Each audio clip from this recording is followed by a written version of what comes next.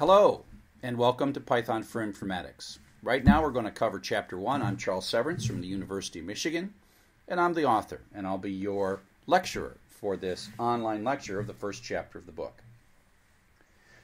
This lecture and my slides and the book, as a matter of fact, are all open. Open content, open materials, their copyright Creative Commons attribution. And this video recording is also copyright Creative Commons attribution. It's important to be explicit about copyright, and so I say it right at the beginning. So if you have not yet done it, please install Python. You're going to have to do it sooner or later, and you actually might as well do it before this lecture. Uh, you can listen to this lecture, obviously, without Python, but it allows you to play with some of the things and you know, we might even do a little bit of Python in this lecture and show you Python in the lecture. And so, you know, you can go along if you have Python in another window.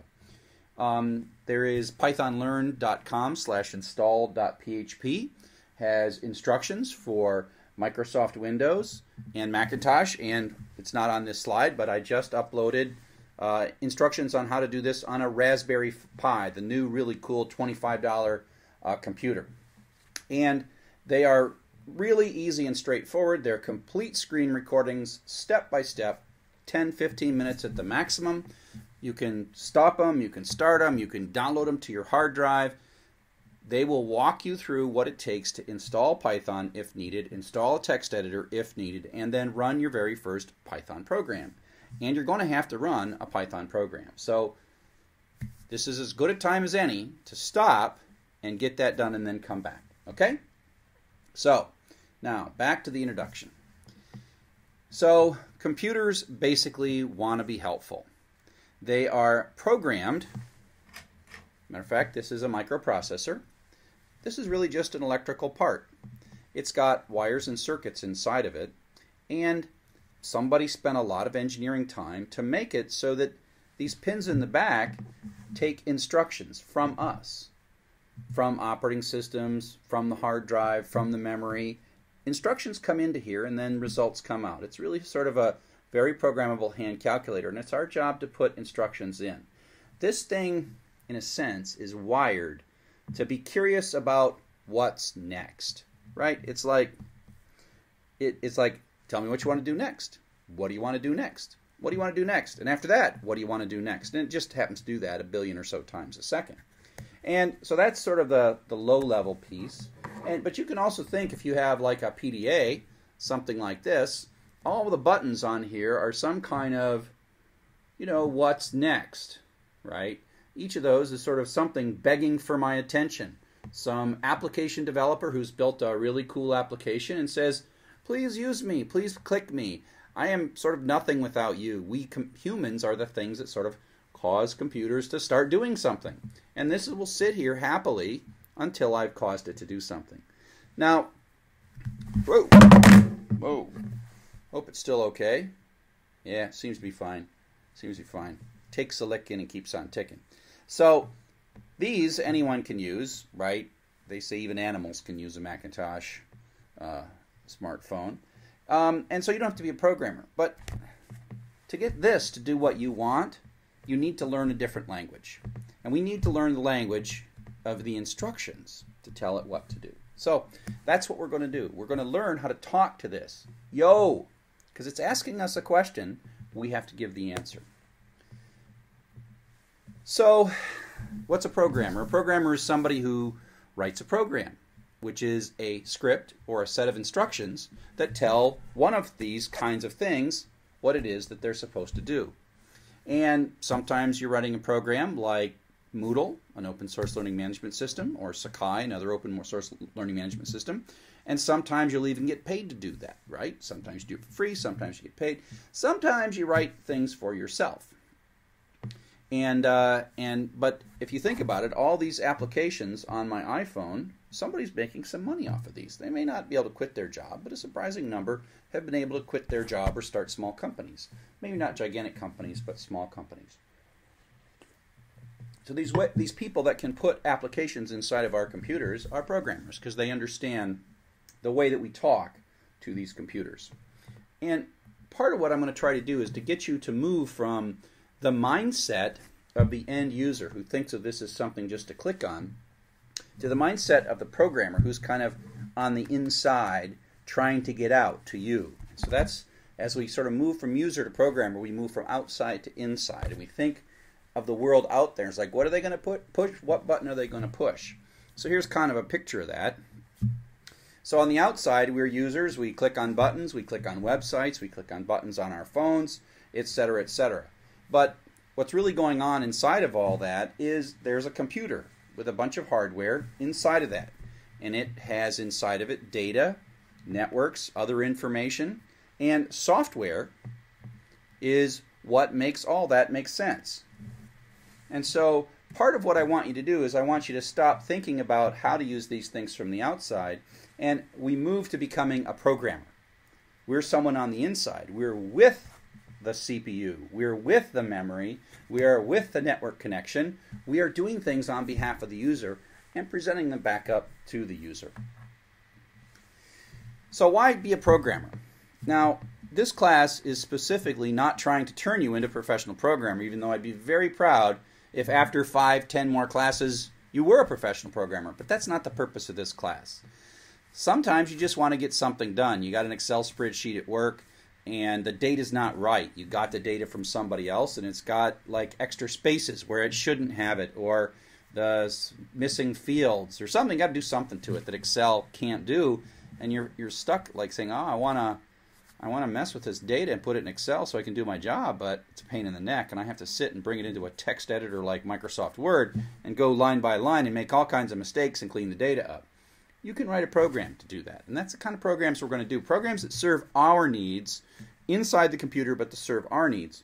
Professional programmers tend to build things for other people to use, right? They, they tend to build things that everyone else does. But we're going to build stuff primarily for ourselves. So, what is code? What is software? We use these words pretty much independently. A program. It's really a sequence of stored instructions we learn the language that this talks, and then we will feed the instructions in one at a time. It takes them one at a time. It gives us back a result. We give it a next one. Give it back, in, out, in, out. So it's really a sequence of stored instructions, but it's kind of more than that. It's it's sort of like our creativity. And if you've been using some of my software, like my MOOC software, I spent about a month writing all that stuff, and it's like it's me. I mean, I'm, it's my vision of how cool stuff ought to work, right? And so it's more than just getting something done. It's also a sense of pride and a sense of accomplishment, especially if you're giving something that other people can make use of. It's really, I think it's very creative, and it's what attracted me to being a programmer in the first place. Is that I could, I could leverage the capabilities inside of here, and I could do things, the cool things, on behalf of the user. So, code, software, a program so let's get a non-technical example of this. So I'll have you link out to the YouTube for this. This is the Macarena. The Macarena is a song that has with it a well-known dance that everyone seems to know or either get taught very quickly. So I'll I'll stop and let you uh, watch the Macarena and then come back. So welcome back. I hope you enjoyed that. Um, in a sense, what we've got there is a program, a program for human beings. Um, and maybe you learned that at a club or something, and they told you what to do next. Well, I can teach you how to do the Macarena by writing a simple program right now. So here's my Macarena. While the music plays, means you do it over and over and over again to the beat. That's kind of like computers. They do things in a beat. They happen to have 3 billion beats a second, but as it were. So we're going to do this multiple times. So we have this whole group of instructions that we're going to do, right? Uh, left hand out and up, right hand out and up, flip left hand, flip right hand, left hand to right shoulder, right hand to left shoulder, etc., etc. Now, this particular little program has a mistake in it. Actually, several. I want you to look and see if you can find the mistakes in the program.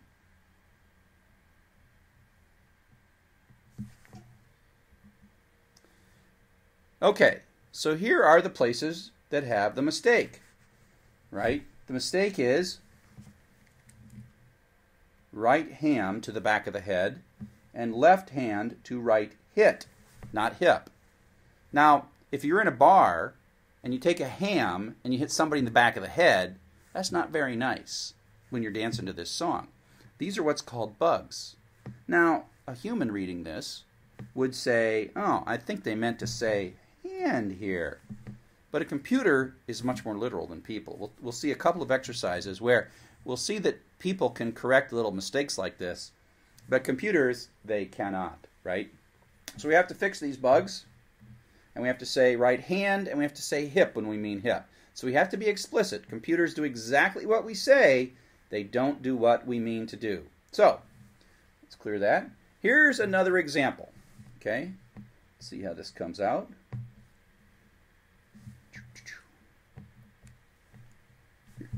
You're supposed to count the number of times the word the appears in this sentence. Count it. The word the. How many times?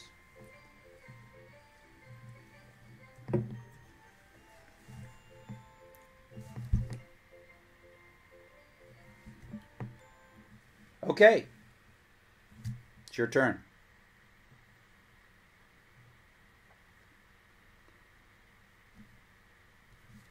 Now, here, this is not something humans are good at. I moved it around, I played a little music, I confused you, I put a picture of a clown car in the upper left hand corner, etc., etc., etc. Now, it turns out that computers, once we tell them what to do, are very good at concentration. It can easily go through 30 words and find the most common word, or 3 million words and find the most common word, and it'll never make a mistake. But we first have to give it a set of instructions. So, I don't want you to learn this right now, but this is a Python program. Let's say that I wanted to let you count words in files. Okay? I say, hey, I know how to program Python. I'll send you an email and I'll send you this program. Just stick it into Python and it'll count words for you. Right? You got a million words, million lines in a file. You want to find the most common word. And so so here we go. So I will send you this file called words.py. I spend a little time. It's a friendly gift to you. And this is what I type in. Now I'll give you kind of an outline of what this is going to do. The uh, first thing it's going to do is open a file and read it. Then it's going to split the lines and files into words based on the spaces. Then it's going to run through and accumulate numbers, like, you know, this word is one, this word is one. Oh, I saw that one again, so I turn that to two. That's what this does. It's a loop. It goes round and round and round, one for each word. Then what we're going to do is we're going to write another loop that's going to figure out which is the most common word by looking through all those little histograms that we built up. And then it's going to print those things out at the very end.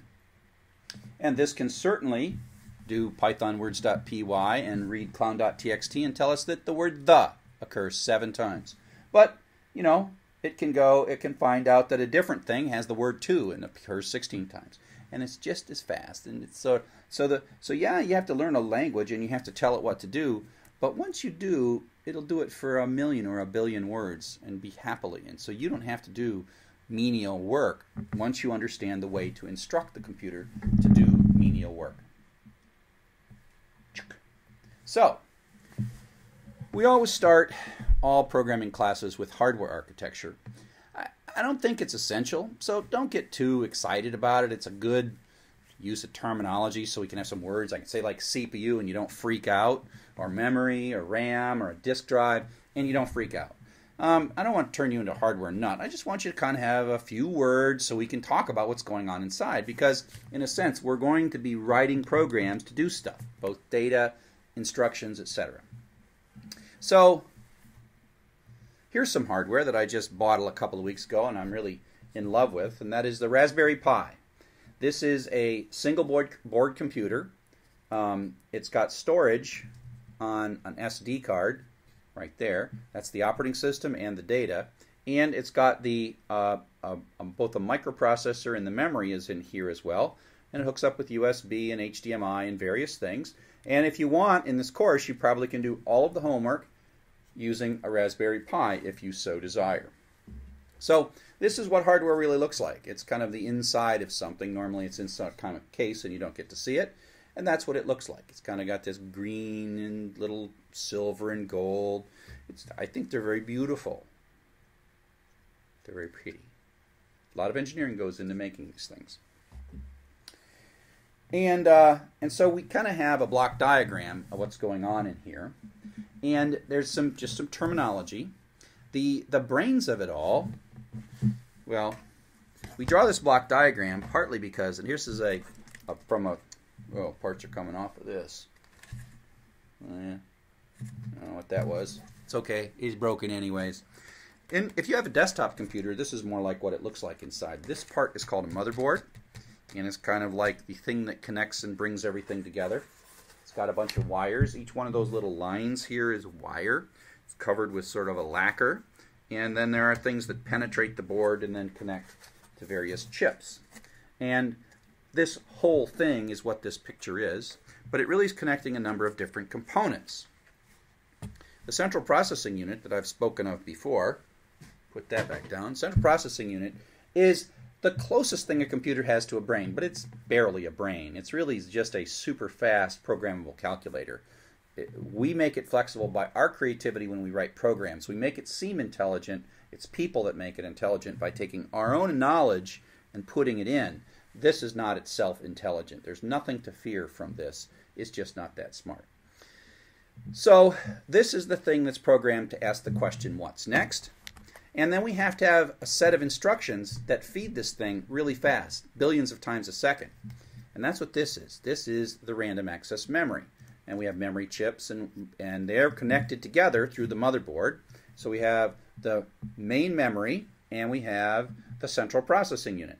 And this is where our high speed instructions come from. This is where our high speed data is stored. And this is the thing that asks what next, and it reads its instructions from here. And you'll see they're kind of like, they're not quite connected together, but eventually they're kind of connected together. Don't feel too bad about this hardware. It's all old, and it's all broken, and it can't be hurt. So, the next thing we got is input-output devices. I'll go back to my Raspberry Pi.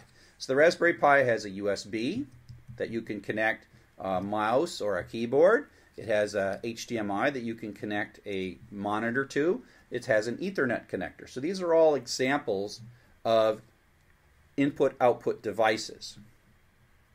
And, uh, and then the last thing on the screen is the secondary memory. So this RAM on the Raspberry Pi, the CPU, the central processing unit, and the RAM are all in this one chip in the middle. It's called SoC or system on a chip, where they put more parts there. So in a sense, they've collapsed this and this and a lot of this all down in a Raspberry Pi to one little guy.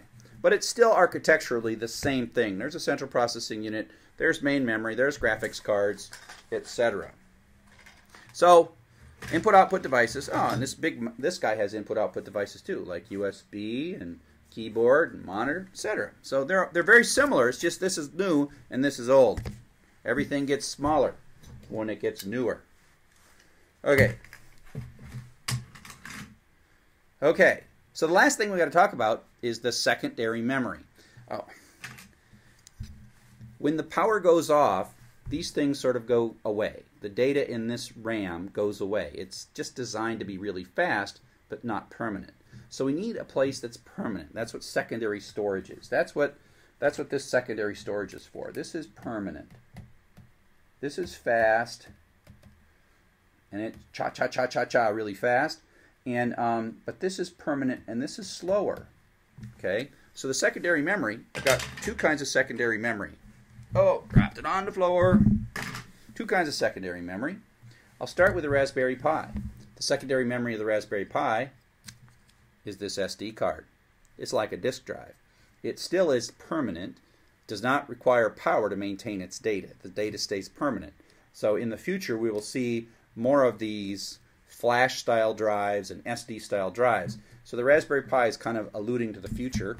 There's a disk drive in here. It's not really a disk, it's also flash memory. But in the old days, in the good old days, back when I was a kid, we, our secondary memory was a disk drive, and it had platters, and it spun, and it made a satisfying noise, and it would move in and out to read data. And I'll show you a video of this just in a bit. And so these would record the data on the magnetic platters, and then when the power is taken off, the data would still be magnetized. And then it would go and move to the right spot, spin it around, and read the data. And again, this is kind of messed up in a pretty bad way. So, there we go. Central processing unit, brains of the operation. Main memory, fast, but goes away when we power off. Input output devices, keyboards, etc. And then storage that has maintains its data across power cycles. Okay. And I just said all that. Okay? So then the question is where do you belong in this? Where do programs live? Where do we write? And the answer is we kind of live in the memory, right? What we do is we put our programs into the memory, and then the CPU pulls the programs out of the memory. So we have to write our programs and put them into the memory. When we start them and run them, we're really loading them into the memory so they can be fed rapidly to the CPU. Now, the computers don't really execute Python, like if x less than 3 print, but that's what we tend to want to write, because what the computers really execute is a thing called machine languages, which is a series of zeros and ones that pretty much translate directly to what's on these pins. There's voltages that go up and down. That's called machine language. Source code, like Python, is written in a way that's most convenient, well, at least more convenient. Machine language is what's most convenient for the hardware. So we either we have to translate from source code to machine language, and that's what the Python program does for us. We write in Python, and Python translates to machine language for us. So, I got a couple of videos that give you a sense of how this all works. We'll start with uh, CPU. And what this is going to do is this is going to show you the intensity of how much electricity, the thing that go, gets hot inside your computer is this little guy right here. And we're going to see in this video just how hot it can get.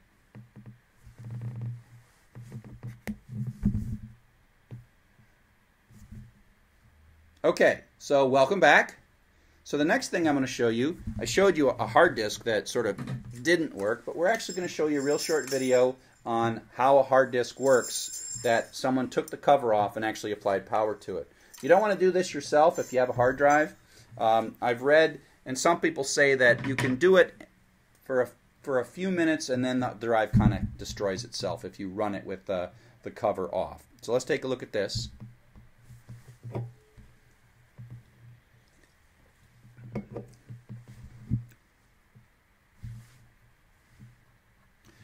Okay, so now we're going to talk a little bit about Python. Python is a programming language. Python is a way that we communicate. Now, Python wasn't invented by computers. We invented Python as humans as a way to encapsulate our instructions. And there's lots of different programming languages Python, JavaScript, C, tons of them. Python, just one of them that we're happy to teach in this class. Now, I'll start with a little Harry Potter reference. Parseltongue is the language of serpents and those who converse with them. An individual who can speak Parseltongue is known as a Parselmouth, and it's a very uncommon skill and it may be even hereditary. Nearly all known Parselmouth are descended from Salazar Slytherin. There's our Harry Potter reference. Python is the language of the Python interpreter and those who can converse with it. We're going to converse with the inside of a computer pretty soon. An individual who can speak Python is known as a Pythonista. It is an uncommon skill and may be hereditary. It may not be hereditary, too. Nearly all known Pythonistas use software initially developed by Guido van Rossum. Guido van Rossum, this guy right here. Yo, Guido, what's up? Uh, let's put a mustache on him. Yo, Guido. Sorry. I should be nice to him. He is the inventor of Python. Python's over 20 years old. He invented it to make it an easy language, but was both easy and powerful. And that's why it's a great language to start uh, your learning with. It's a powerful language, but it's also designed to be easy to use. Can anyone guess what the reason for the Python language name is?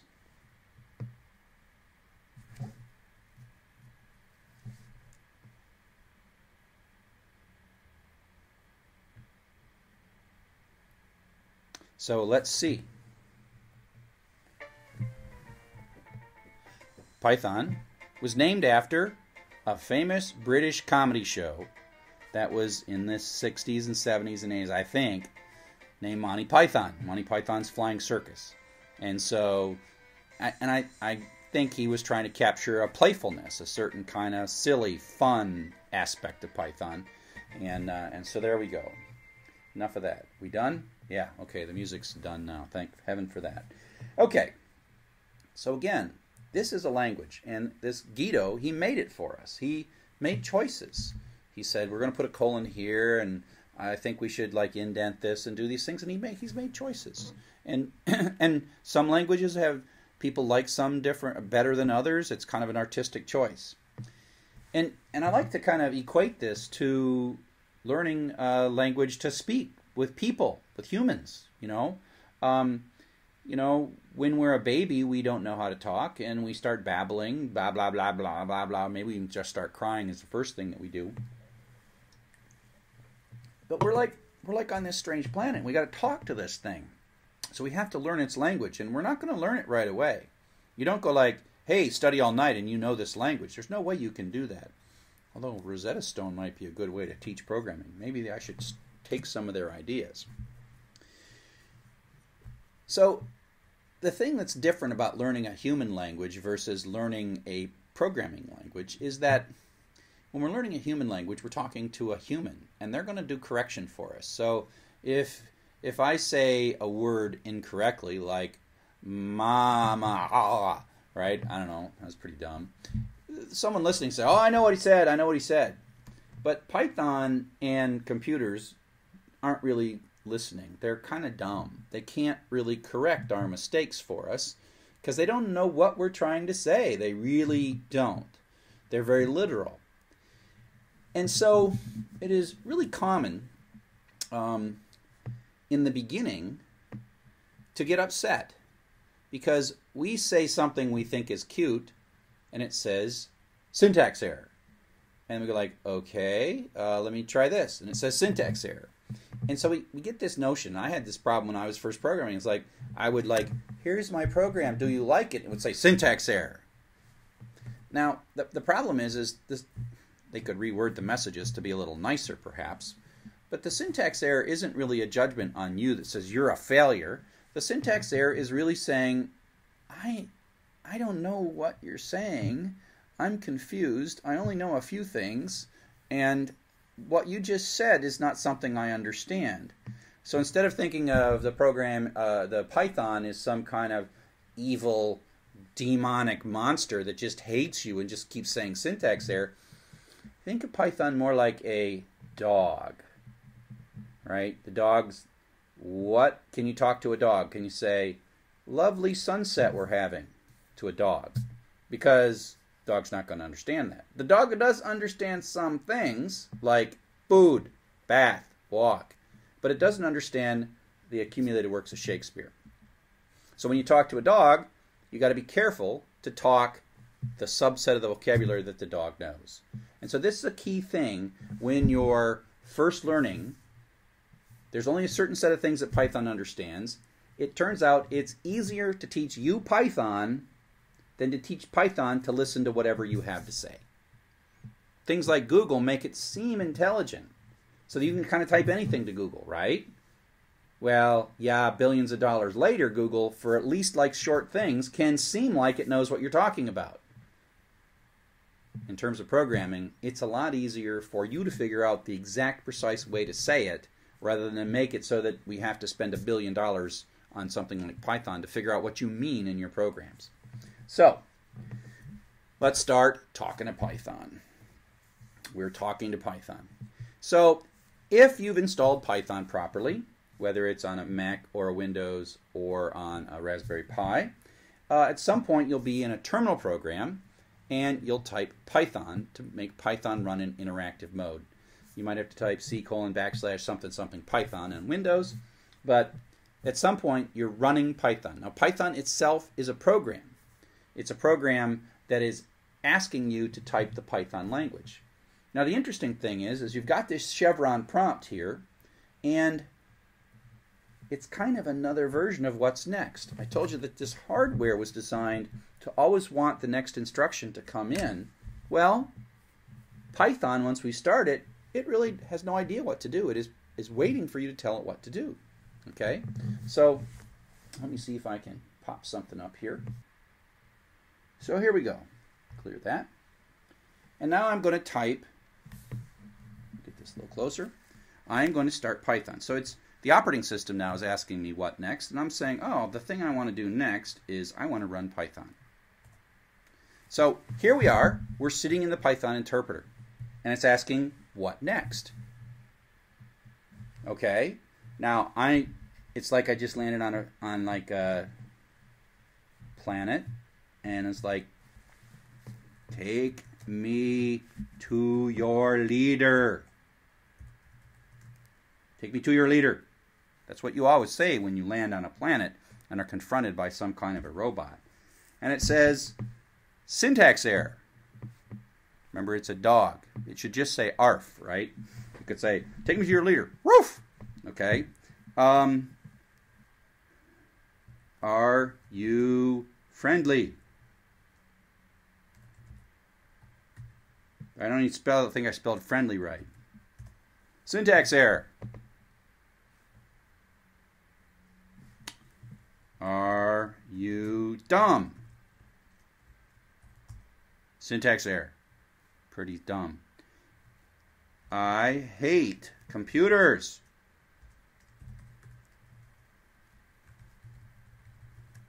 Syntax error. It doesn't seem to have a sense of humor. Try this. Knock, knock. Knock, knock.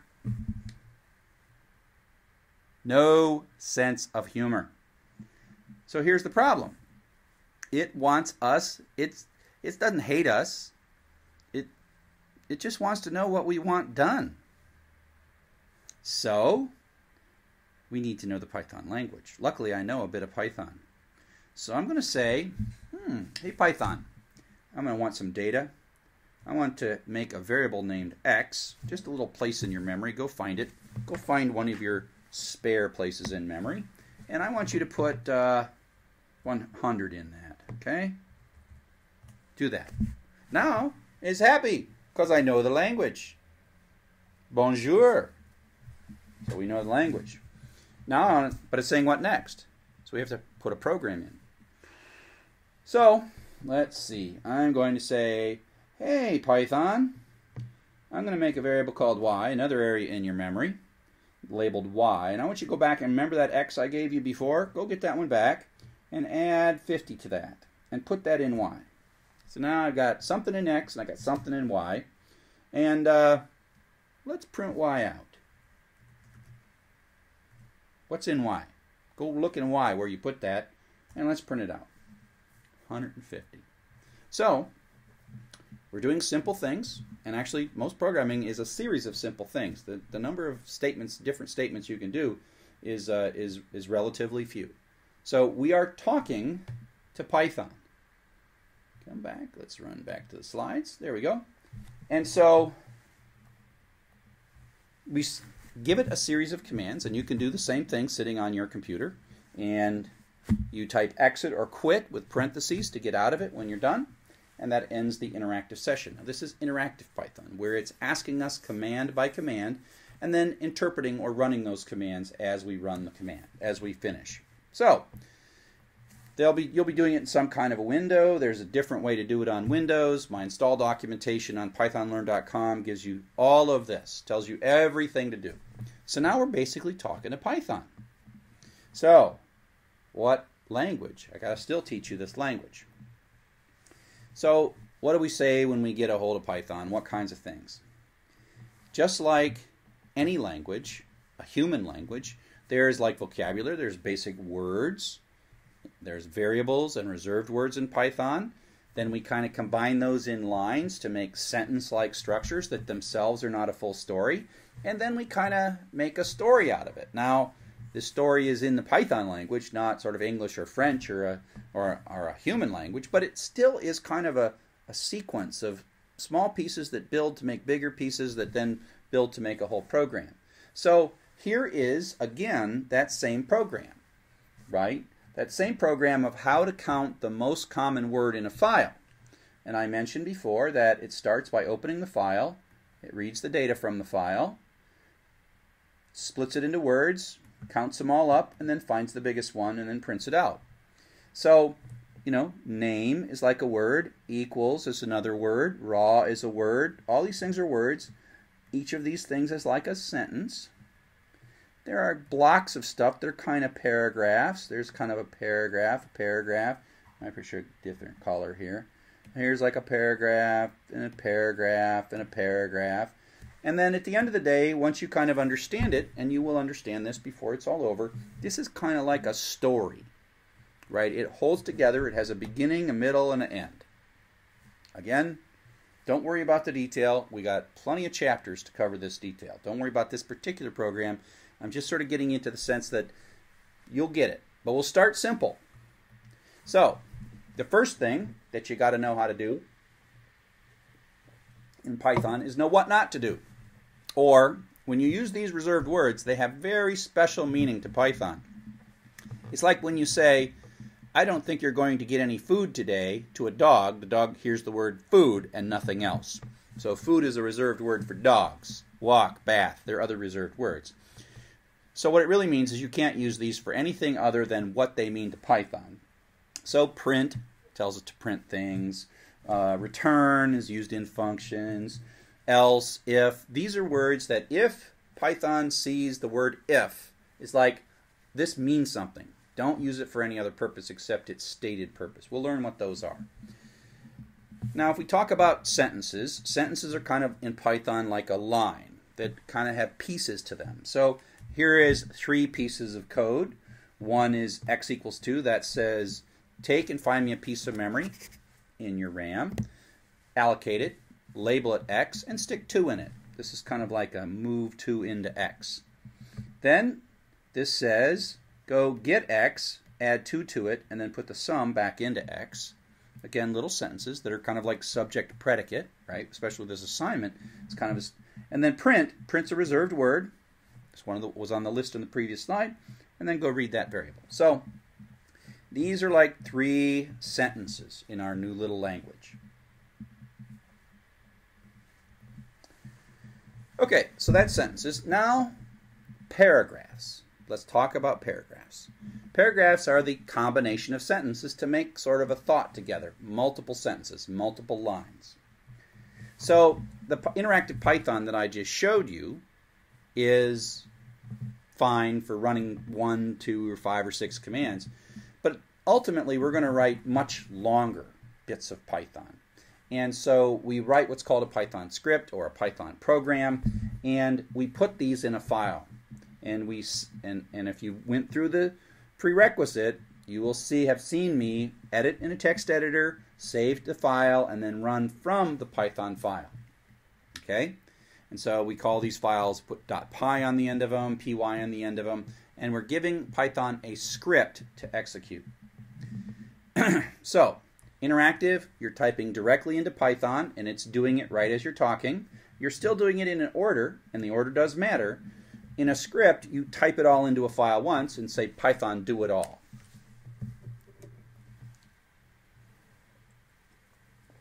Now, when you write one of these things, there are patterns for combining these. There are things that we do to these lines that sort of treat them differently. It's like a recipe, a set of instructions. Start at the beginning, but it's a little more complex than that. Some steps are just sequential, some steps might be skipped, some steps we do multiple times, and other times we have kind of like a set of steps we do over and over again. So here's some pictures. And here's four lines of Python, a little simple paragraph.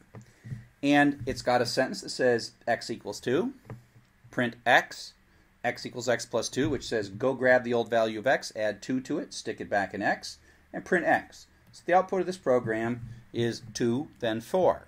Because x was 2, we printed it, then we added 2 to it, and then we printed it again, so it was 4. Now, these flowcharts, don't worry, I'm not going to make you draw these. I just draw these in case cognitively it makes it easier for you to understand what's going on. So, x equals 1, is the first step. Sequentially, it just continues on. It runs the print. X equals x plus 1, runs the print. So this is just straight through. It'll make more sense when we see a little more convoluted things. So this program just starts naturally. Python starts at the beginning and works its way down through the end. That's sequential stuff. That's the normal order of business. Now, a conditional is a step that may or may not get executed. If all we did was sequential steps, programs would be kind of dull, right? They would just be like blah blah blah blah blah stop. So there's things like, oh, what if you do this or what if you do that? And so we do things like if if you have more than 40 hours, I'm going to pay you a different rate than if I have under 40 hours. Those kinds of things are if, the word if. So in Python, the way we express this is we use the keyword if. So we say x equals 5, and then we say if x is less than 10, this is a question that's being asked. Is x less than 10 or not? Yes or no? If it is, we execute the indented bit. If it's not, we skip it. In this case, since x is 5, we execute it.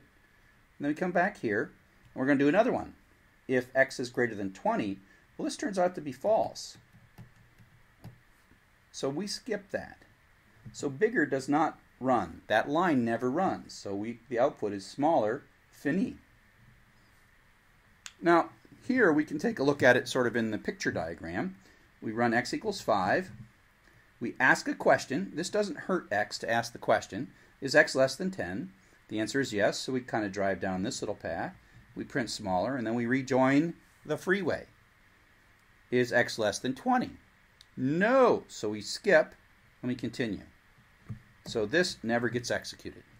So you can think of it either way. You can think of it either sort of like gestalt, say, if this is true, do what's indented. Or you can imagine sort of a little car driving down a highway, making turn choices as it goes. They're equivalent. Over time, it's probably you'll just start seeing this and start thinking this way, but sometimes it helps to think about it this way for a little while. Okay. Now, the next thing I want to show you is repeated steps, steps that happen over and over and over again. Okay? And that again, when I said, oh, computers are good at handling a billion words, well, that means it has to have a loop or a repeated section, one for each word. It's going to do something for each word. And so, um, so here we go. And in Python, let's pick a different festive color. Let's pick purple as a festive color. So here's our program. Starts at the beginning, sets the variable n to 5, and then a keyword, reserved word while. While n greater than 0, again, this is asking a question. This is asking a question. Is n greater than 0? That's a question. If yes, we're going to do this. If no, we're going to do that. Over here, if it's true, we're going to execute the indented part and then come back and do it again. If it's false, we're going to skip down. So it's kind of like an if, except it keeps doing it over and over and over again. So it comes in, sets n to 5. Is n greater than 0? Yeah, sure. So we print n, out comes 5. Then it says n equals n minus 1, so n becomes 4. We can change colors. Then it goes back up. Goes back up and asks the question again. n is 4. It's still greater than 0, so it comes through. Prints out 4, subtracts 1, so n is now 3. Goes back up, is n 0? Is n greater than 0? Yes, it is. Print out 3. Subtract 1. Now it's 2. So out come 3 and 2. Then it goes back up. Still greater than 0? Yes, it is. Print out 2. Or wait. Now it's 1. now we subtract 1. It becomes 0. Is it greater than 0? No. And we finally leave and we finally drop down. And so the last thing that comes out is the print of blast off. So this is a loop. The notion that we're going to run this little bit of code five times. Excuse me. We're going to run this little bit of code five times. And loops have these things we call iteration variables. And that is this n. It's a variable that specifically is changing each time it goes through the loop. And that way we can sort of control the loop. We can decide when it starts and when it stops. We can tell if we're at the beginning or the end, or the first one or the last one. We'll do a lot of stuff with loops. This is an iteration variable because we iterate, repeatedly iterate through the loop. Okay? Any questions? Can't do questions. Okay. So now, if we go back to the little story that I, you got several chapters to understand. Don't worry. You actually got like through chapter 9. So don't try to understand this program right now. I'm just trying to give you a sense of what the picture is going to be, right? So, so here are some sequential statements because they aren't indented. Those five lines are sequential. They just go one after the other. Then we have for, and it's indented. This is a loop. This is going to run a bunch of times. Then we're done with that. We do some more sequential stuff. Now we have a for loop, and that's going to run a bunch of times. And then we have an if, which may or may not run. So these this little block of code is conditionally executed based on something, and here's the question that we're asking. So that's the question. And then at the end we do a print. Now, again, don't try to make too much sense of this. I'm just trying to show you sequential, repeated, repeated, conditional. Okay? Just those concepts show up in every pretty much every program that we build. Okay. So, let's do a couple more little exercises that get you sort of in the mindset of being a programmer and how programmers tend to have to think about problems a little bit differently. So here we go. This I call this an animated short story.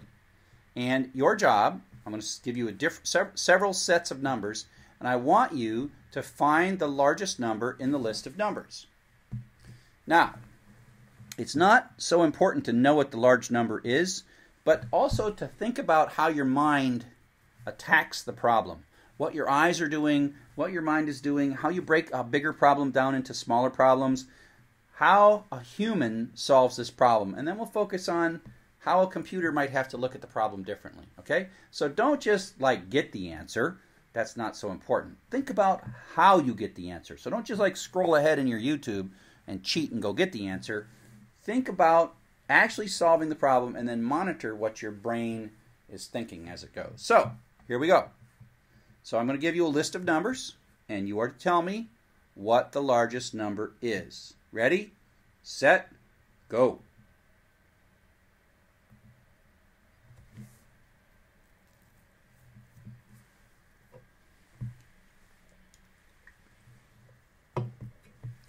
I didn't make it easy. You're looking for the largest number.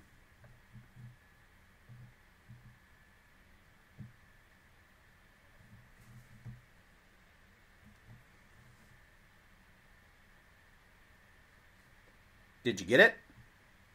Did you get it? Did you have to go back a couple of times? Actually, I don't care what the answer is. The question is, how was your brain solving? Okay, you probably want to know what it is. The answer is 198. That was the largest number. Of course, what I was doing is I was moving it to make it difficult.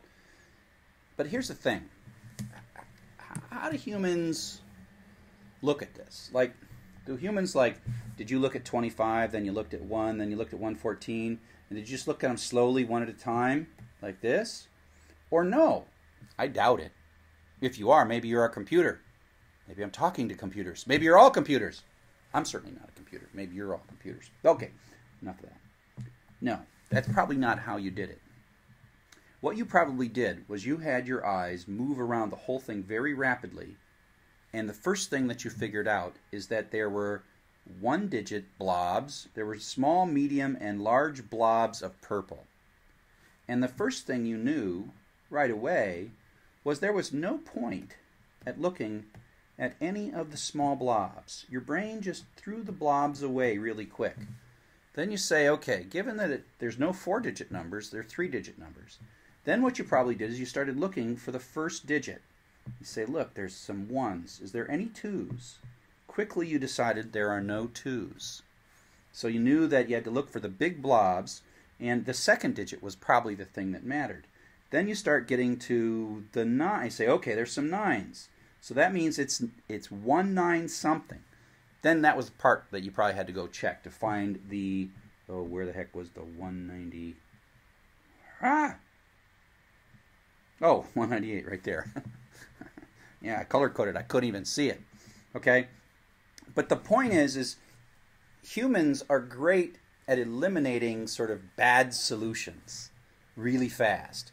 And you probably looked at how big how much purple was on the screen, eliminating the areas that were less purple because you knew that your brain quickly and instinctively knew that the more purple meant a larger number. Computers don't do any of that. They don't do any of that. So, in order to make you feel a little more like a computer, I have another test. And again, the goal is not just to find the largest number, but to, to monitor as you go what your brain is thinking while you're doing this. Okay? Do you get it? How are you attacking the problem? What is your feeling as you're attacking the problem? Are you a computer or not? Here we go. I'm only going to give you a few seconds.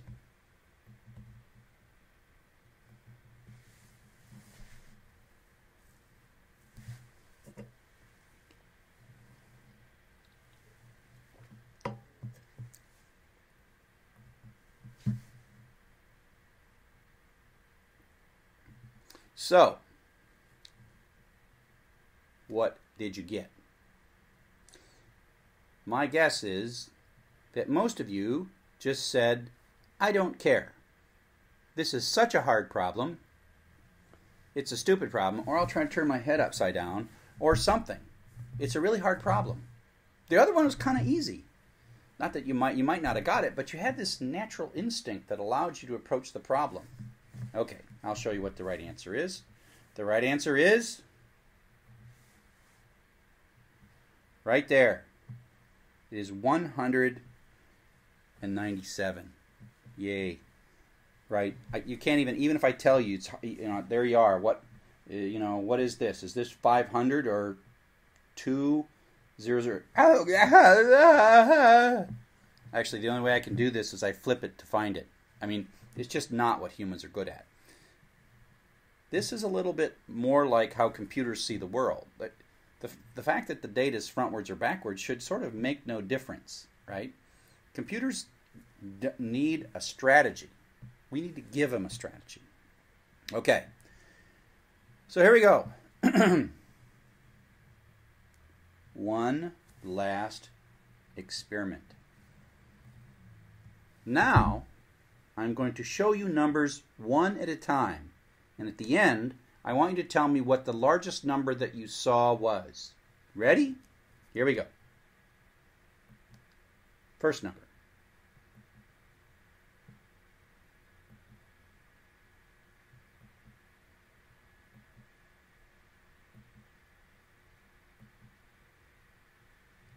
What was the largest number?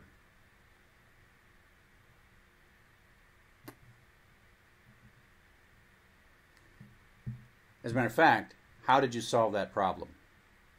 You solved that problem most likely because you didn't you couldn't look at all the numbers at the same time. So you probably created a variable in your head without even knowing it. And you put into that variable, you called the variable the largest number I've seen so far.